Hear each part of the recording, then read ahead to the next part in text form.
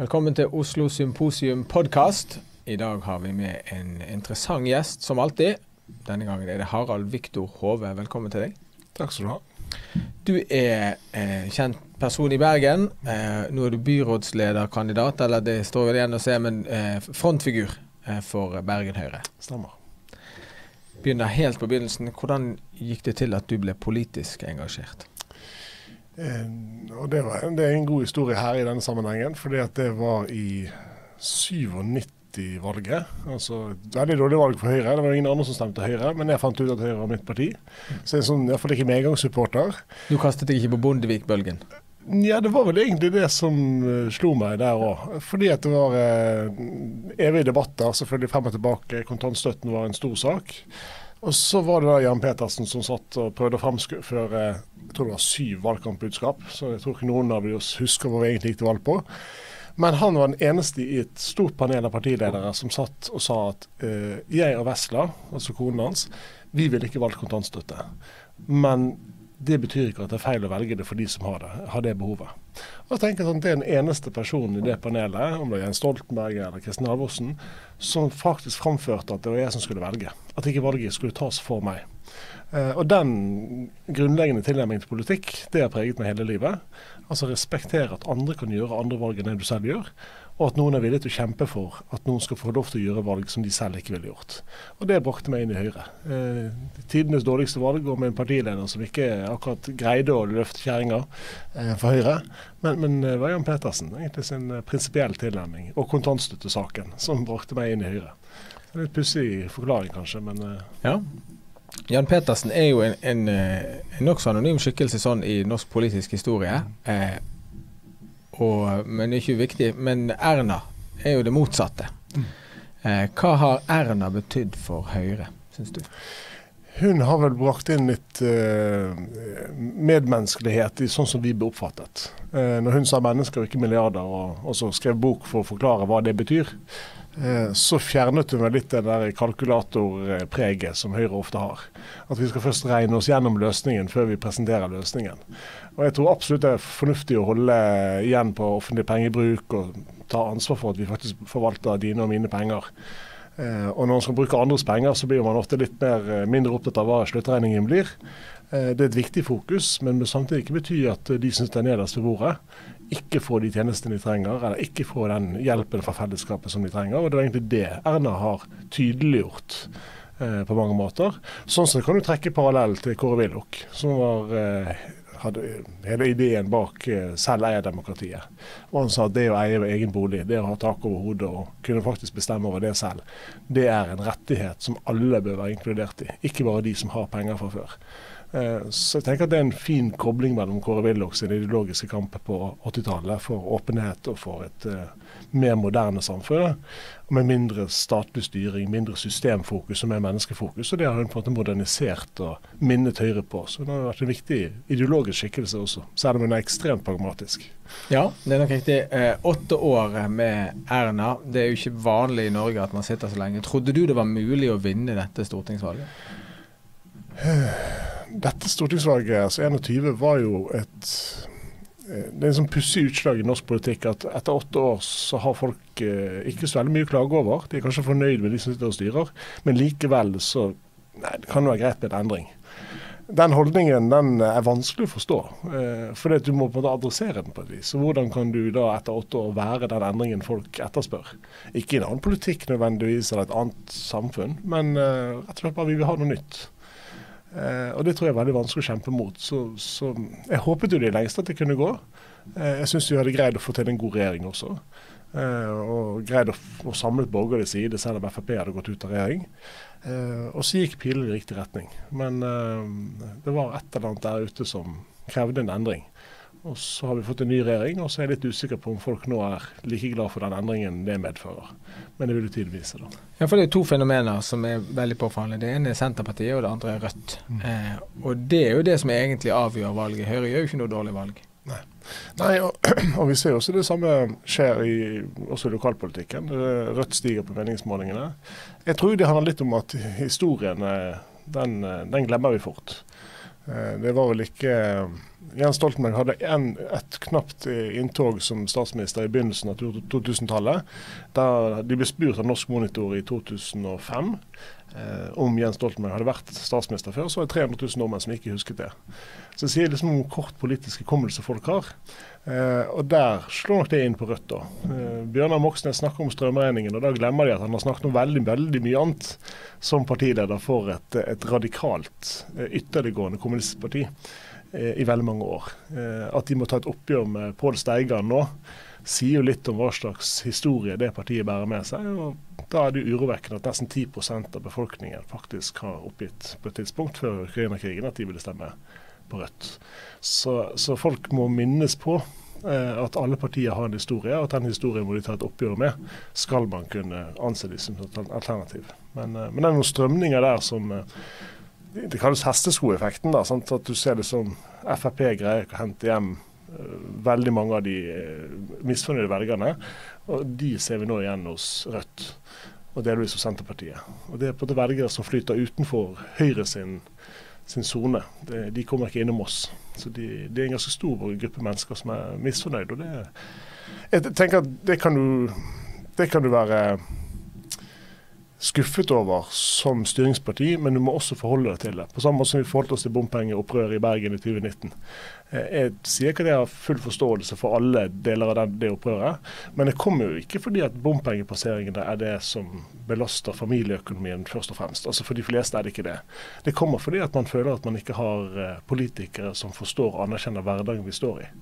Og Da skaper det en distanse til det politisk etablerte styringsregimet og, og, det rammet Høyre og det rammet Arbeiderpartiet, og det må vi ta på alvor. Ja, Vi skal snakke litt om Bergen, men før det, eh, tilbake til Høyre. Jeg interesserer meg veldig for den her konservativ-liberal aksen mm. Eh, på flere saker. Abort, eh, pride-ideologi og de tingene der. Hvor er skillelinjene i Høyre? Vi har sett at Erna har vært på landsmøte og kjempet eh, mot liberaliseringer innenfor hvis vi kan kalle det for menneskeverdsspørsmål. Mm. Eh, hva, er din analyse av eget parti? Eh, jeg tror det, det er litt avhengig av hvordan dagsdebatten går. Eh, jeg tenker at abortspørsmålet har fått veldig, en veldig slagside. Da. Dette kan være kontroversielt å si, men det er på et forsøk på å forklare hvorfor, hvorfor den også har økt oppslutning om endringer i abortlovgivning internt i Høyre, handler jo ofte om at det blir redusert et likestillingsspørsmål.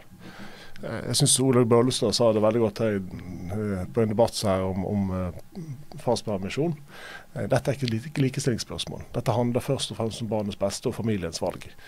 For Hvis du skal legge inn at man skal ha like muligheter i arbeidslivet, så må man også ta hensyn til at det er en biologisk komponent mellom oss som ikke Vi kan aldri føde barn, og den, den kan ikke noe politisk vedtak fjerne, den muligheten der.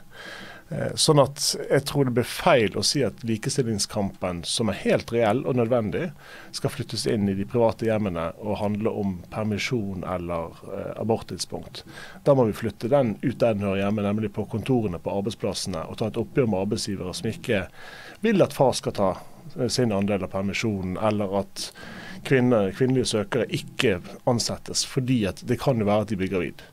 Det, det, er der vi må ta den kampen. Men når den flytter stadig større inn i spørsmål som handler om menneskeverd, som du sier, som abortspørsmålet, så tror jeg det er et sidespor for likestillingen. Eh, og Jeg er jo konservativ selv, så jeg er jo fornøyd med Erna sin innsats. Eh, jeg syns abortlovgivningen vi har hatt, den er et, en, en velfundamentert balanse mellom eh, muligheten kvinnen skal ha til å bestemme over egen kropp, og det ufødte livs menneskeverd. Og når man begynner å rykke på det, eh, så ødelegger man en skjør balanse ved dagens abortlovgivning. Eh, det, er på det, det er på det der den, den, store diskusjonen foregår. Hva vil abortspørsmål eller muligheter innenfor bioteknologi bli kamuflert som? Blir det et likestillingsspørsmål, så er det dessverre et feilspor. Så vi må bidra til dette, og det syns jeg Erna har greid. Prøve å bidra til at det, det er ikke der likestillingskampen tas. Eh, der må vi ta eh, noen rettesnorer for hvordan livet skal håndteres som, som samfunn. Når venstresiden ville, eh, og fortsatt vil, utvide retten til fri abort til enten uke 18 eller 22, så begrunner de den debatten og, og den endringen i det som skjedde i forrige periode, med KrF og Høyre og mm. Ropstad og forhandlingene. Hva syns du om en sånn begrunnelse i et sånt spørsmål? Nei, det bærer nok nytt preg av, nå kan det fort høres ut som en konspirasjonsteori, men vi må jo erkjenne at en del, eh, spesielt på kommentatorene, eh, så sitter det en del toneangivende kommentatorer i de store avisene og har valgt å, å, å prege den debatten og si at man forhandlet eh, om abortspørsmålet. Eh, og at det var det som gjorde at KrF landet på, på, siden til Høyre. Og at Erna var villig til å sette abort, eh, menneskeverd, i spill. Eh, og Det førte til massive protester, og, og mange av kvinnebevegelsen ble provosert av det. Eh, og Det skapte et inntrykk av at man var villig til å forhandle om når livet begynner. Men for Høyre og KrF er jo ikke det en forhandling. Eh, for det har vi et felles standpunkt om. At det egentlig i bunn og grunn skjer ved unnfangelsen. Og så spørsmålet hvordan balanserer du kvinnens mulighet til å foreta et veldig vanskelig valg, om hun skal bære fram det livet eller ikke, og når er det det valget på mange måter er tatt for henne. Og jeg synes at Det å justere grensen opp til 22. uke, som er det mest ekstreme, betyr jo at du kommer inn i et grenseland hvor livet allerede har kommet så langt at det kan berges. Altså Vi har jo tilfeller hvor du har verget i uke 23. Og, Da sier det seg at da er ikke dette lenger kvinnens valg. Da er det et valg om to liv. Eh, og jeg synes at det, det har bidratt til at dette ble det hørtes litt sånn uryddig ut når Erna og KrF forhandlet om hvem, hvilken side man skulle lande på. Sånn at der var det vanskelig å leve med den kommunikasjonen i pressen. Men for min del har det aldri handlet om når livet starter, for det skjer ved unnfangelsen.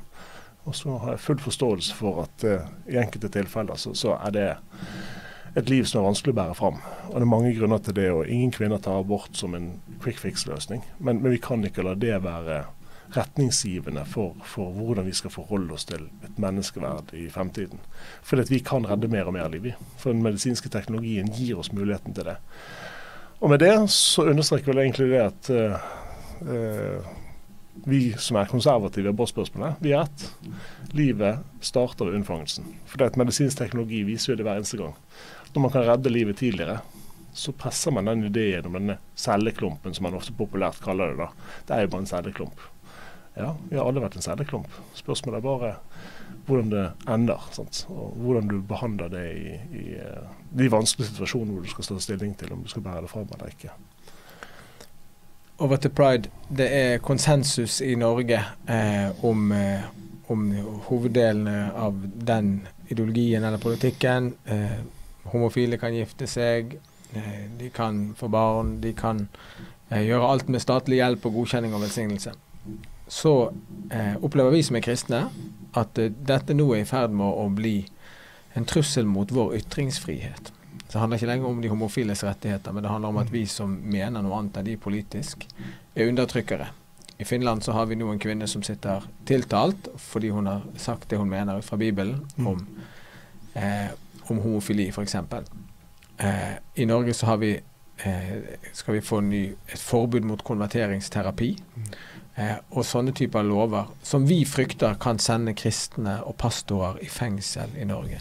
Kan vi regne med Høyre til å sette grenser mot en sånn utvikling? Altså, vi har jo diskusjon om konverteringsterapi i, i Høyre. og det er en, det er en eh, det har vært en vanskelig diskusjon, tror jeg. Rett og slett fordi at for meg som har Der er jeg kanskje ekstrem. For jeg mener at ytringsfriheten kan ikke innskrenkes på noe som helst vis. Med de problemene det oppstår for meg. da, For det betyr at rasistiske ytringer, eh, ytringer mot kvinner, mot eh, etniske grupper, mener jeg grunnleggende sett bør være tillatt. Rett og slett fordi at i det øyeblikket du begynner å skrenke inn og begrense ytringsfriheten, så er det en slippery slope. Og det ender du veldig fort med at hvis ikke du liker rasistiske ytringer, det kan straffeforfølges, hatefulle ytringer, oppfordring til vold, hvis det kan straffeforfølges. Ja, hvorfor skal det ikke være lov å si at når man krenker noen som har en annen kjønnsidentitet, eller lever et liv i et homofilt samboerskap, da må jo det også kunne straffes. Så jeg bare sier at Når du først begynner å si at alt er lov å si, bortsett fra dette og dette og dette, så er det lett å legge til. Eh, sånn at jeg har nok en veldig sånn Forsøksvis fors prøver jeg å si at ytringsfriheten må være total. Eh, fordi at du, du, gjør alle mulige innretninger på å si at jeg kan føle meg krenket av en påstand. Og så skal man da si at det skal være forbudt. Og Det, det er jo det som er det grunnleggende diskusjonen vi må ta. Eh, og der kan man regne med Høyre. Fordi at det er tilbake til Jan Petersen i 97 som sa at jeg er villig til å kjempe for at du skal gjøre valg som jeg selv ikke ville gjort. Og Det er jo det ytringsfriheten handler om. Du skal få lov til å fremføre et budskap som du tror på, og så må vi da stå ring rundt den muligheten. Men møte det med argumenter. Og når vi er uenige, så, så skal vi møte det med nettopp argumenter. Og Det er kanskje pride-bevegelsen sin store utfordring i møte med Kristen-Norge, er jo nettopp det at man har ikke et rom for å si at man er uenig. Altså Istedenfor å eh, boikotte eller ønske å begrense ytringene til mennesker som ikke deler alle deler av pride sin tilnærming, må jo da være å si at da setter vi oss ned og så diskuterer vi det. Eh, for det, skaper en god samtale, enten man blir enig eller ikke. Eh, og Der tror jeg det ligger først og fremst på pride-bevegelsen, og ikke på Kristen-Norge. Eh, å skape rom for den gode refleksjonen. For det for meg så handler det kort og godt om at man skal få lov til å elske den man elsker. Og det tror jeg er forenlig også med det kristne budskapet. Men derfra til at du skal kunne jeg å si, bestille barn og dra til København, som de sier, for å ordne innenfor medisinsk vitenskap alle mulige behov du skulle ha. Eh, det tenker jeg ikke er en naturlig del for meg å støtte opp under for pride. Eh, eller at man skal få lov til å ha I Canada har de vel nå syv kjønnsidentiteter. Det kan godt være at du føler deg som noe annet enn kvinne og mann, men, men, det er ikke en krenkelse at ikke jeg greier helt å treffe deg på hvem du føler deg som i dag. Så, så vi må ta ned aggresjonen som ligger i følelsen av å bli oversett og krenket og ikke behandlet lik, som et likt menneske. Og den, den, føler jo veldig mange eh, LHBTQ-samfunnet føler jo veldig på det, og det er forståelig. Eh, for hvis du ser en mann som kler seg i kvinneklær, så, så har det skapt veldig eh, reaksjoner i samfunnet opp gjennom historien. Men vi har kommet veldig langt i å akseptere at noen kan gjøre valg som du selv ikke ville gjort. Noen kan leve liv som du ikke selv ville levd. Og Da syns jeg vi må prøve å tone ned aggresjonen mot dem som ikke lever de samme livene. Tone ned følelsen av å bli krenket fordi at de ikke forstår eller helt ser hvem du er og hva du har i livet ditt. Og så må vi på en måte akseptere at noen trenger ikke å omfavne den livsstilen eh, og flagge for alle punktene i, i Pride-programmet. Eh, og at det må være aksept for det. Så, så, så der det handler vel om at de som krever at vi andre er liberale, også er liberale med oss som enten har vanskeligheter med å forstå, eller at vi faktisk ikke deler alle deler av det som Pride-bevegelsen jobber med i dag. Og de er en politisk bevegelse. Eh, det må vi anerkjenne. Mm. Da må vi kunne være enige eller uenige i budskapet deres. Uten at det blir til en sånn Da, da tror vi ikke at mennesker er likeverdige. Hvordan skal eh, De sier at Bergen er en borgerlig by. Mm. Eh, hvordan skal Høyre og de ikke-sosialistiske partiene vinne denne byen tilbake? Altså, nå gjorde ikke Vi et, eh, vi ble største parti i Bergen i 2019. Vi fikk et bompengeparti. Og, og som jeg ser man kan jo lure på hva var det som velgerne tenkte på da de stemte for å, på et bompengeparti som egentlig bare hadde én sak, de skulle redusere bompengene. Kan det være det var det de tenkte på? Det, det kan være at det var akkurat det de tenkte på. Det er klart Jeg eh, har jo eh, noen eksempler hvor du, hvor du blir eh, omringet av bompengestasjoner. Og så har de sluttet å Så har de fjernet stoppestedet for bussen du kunne tatt. Og så skal du kjøre til og fra matbutikken eller du skal kjøre til og fra trening med ungene og da må du betale bompenger. Og Det er klart at det skaper jo en utrolig sinne hos folk, fordi at man har da en politisk avgjørelse som ikke henger sammen med hverdagsutfordringene til folk. Så vi er i utakt med vanlige folks liv. Det er det farligste for enhver politiker. Altså, Tenk om det er Høyre eller Arbeiderpartiet. Når vi mister kontakten med hverdagen til folk, da mister vi også legitimiteten når vi tar beslutninger. Det var det som skjedde i Bergen. Nå var det bompenger, da kan det være noe annet. Eh, og Det skaper også politikerforakt, det skaper avstand, det skaper også lavere valgdeltakelse. Sånn at Det er det viktigste for oss, at vi faktisk greier å snakke til bergenserne med bergenserne om hverdagen de opplever. Ikke bare gjøre sånn som høyrefolk ofte gjør, vi hopper rett inn i en løsning, og så er det ingen som forstår hvem var problemet. Eh, så vi trener oss på dette. Eh, men i Bergen så har det også vært en annen sak som skapte avstand, og det er Bybanen. Eh, det betyr at vi har egentlig et borgerlig flertall i Bergen, i bystyret i dag. Eh, men KrF og Venstre har valgt, pga. Bybanen, så har de valgt da Arbeiderpartiet, MDG, SV, Rødt som sine samarbeidspartnere. Det tror jeg nok er det viktigste for oss å rydde av veien. Altså Bybanespørsmålet må løses. Eh, vi vil ha bybane i tunnel, for Bryggen er en Norges nest best besøkte turistdestinasjon. Jeg tror ikke bybane hvert tredje minutt og to millioner mennesker som skal passere de trikkelinjene der, kommer til å være en god miks. Men, men eh, nå får vi håpe at saken landes. At man finner en løsning på det, sånn at bybanespørsmålet er lagt til side. For det har vært den største barrieren for KrF og Venstre, for sånn som jeg opplever det. Og vi har god dialog med begge partiene. At det har vært en barriere for samarbeidet med Høyre. For vi har da tunnel.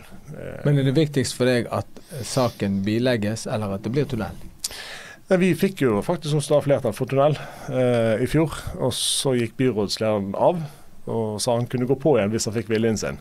Og da, da snudde faktisk gruppelederen i Rødt. Eh, fordi at Det verste som kan skje i Bergen, er at Høyre styrer. Eh, det er jo en interessant tilnærming til, for et parti som også gikk til valg på at de ikke ville ha Bybanen over Bryggen. Men det kunne blitt en krevende jobb for deg å være byrådsleder med den banden der? Absolutt. Uh, derfor er det godt å snakke med Erna om hva ville du gjort. Hun sier nei, dette, dette ville jeg gjort. Vi søker makt og vi må ta ansvar i en vanskelig situasjon, og da gjør vi det. Og så får vi bare ta en dag av gangen. Hun har en ekstrem tålmodighet og, og ro som ikke jeg har. Men, eh, men, det var hyggelig å høre at hun også tenkte at dette skal vi gjøre, for vi må ta ansvar. Men, men klart at jeg tror spesielt for Venstre så er det en barriere.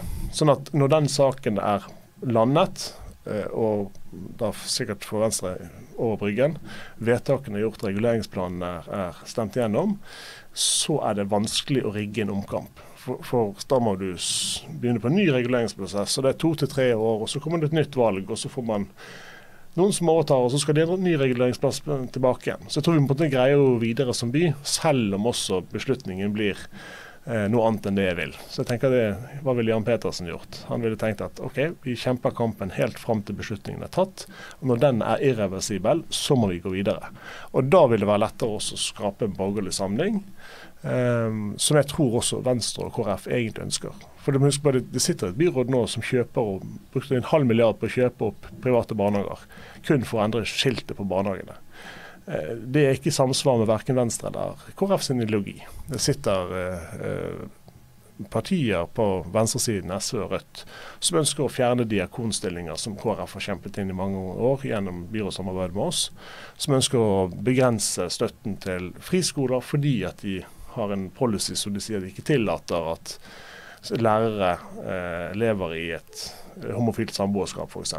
Det kan man mene mye om, men hvis du går inn og plukker fra alle muligheter for ulike trossamfunn til å lage skolealternativer som passer inn i deres tenkning, ja, så begynner man altså på den totalitære regien. Og KrF blir jo på en, en, del av det toget. Eh, så jeg tror at de føler seg veldig ukomfortable i det byrådet som sitter. Eh, og så kan jeg si at Arbeiderpartiet har jo, og det har skjedd i flere byer, de har blitt eh, redusert litt til sånn eh, statister i byrådet de tilsynelatende styrer. Altså De har byrådslederen, de er det største partiet, men ikke de står beslutningene. For de blir presset fra begge sider. Fra hva skal jeg si, sentrumsorienteringen til Arbeiderpartiet. Eh, de blir presset fra KrF og Venstre. De blir presset fra SV og Rødt. Og Det er klart det er vanskelig da å finne et solid ståsted. Så også ørnen i norsk politikk har blitt vanskelig å forholde seg til. fordi det er ikke sånn at Arbeiderpartiet er kjent for styring og ledelse. Eh, de er kjent for å gå dit de kan sikre seg makt, og så er det noen andre som bestemmer hva som den makten skal brukes til. Og det tror jeg er et godt argument for at KrF kanskje bør revurdere og tenke annerledes i 2023. da. Det har blitt en diskusjon om eh, du er rett mann mm. eh, til å eh, lede Høyre inn i neste valg. Eh, for det første, hvordan stiller du deg til det, og hva tenker du om det? Det er, sånn, det er vanskelig eh, Det er egentlig vanskelig å forholde seg til at folk skal diskutere om det er du som er den beste til å lede partiet. For det føles jo som en veldig personlig debatt. Spesielt når avisene slenger seg på og skriver at noen har spilt inn en annen kandidat, og ergo så liker de ikke meg. Det, det, blir ofte fremstilt sånn. Eh, nå hadde vi bystyremøte eh, denne uken. og Stemningen er jo veldig god, og Eivind Evdal Bolstad, som er min motkandidat, han, han, jo, han og jeg leverer inn felles politiske eh, forslag og går på talerstolen sammen. og Det er god stemning i gruppen, så jeg tror vi greier å bære denne nominasjonen og denne tilsynelatende nominasjonskampen, som altså, avisene liker å kalle det, på en god måte. Men du blir jo, du blir jo sittende litt sånn tenk sånn Hva kan være grunnen til at noen mener jeg er ikke en riktig person? Så, så jeg kan ikke si at jeg, du blir upåvirket av det. Uh, så, så, ja, litt, du går litt i deg selv og så tenker sånn Hva er det jeg kan ha gjort som ikke treffer hele partiet? Uh, men jeg er nok også da trygg på at jeg representerer en konservativ linje. Jeg vet hvem jeg skal samarbeide med, jeg vet hvem jeg ikke skal samarbeide med.